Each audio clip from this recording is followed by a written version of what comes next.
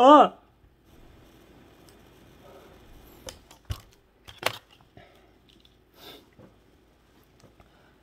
I am truly sorry of my actions and what transpired yesterday.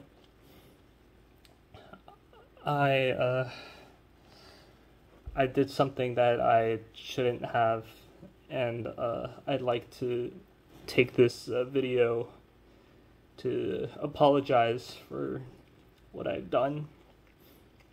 It was not it was not right for me to announce that I would be streaming only to lie about it and never actually start a stream.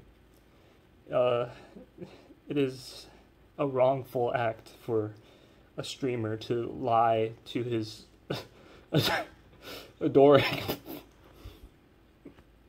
lie to his adoring fans that uh, he would be streaming, but actually just not.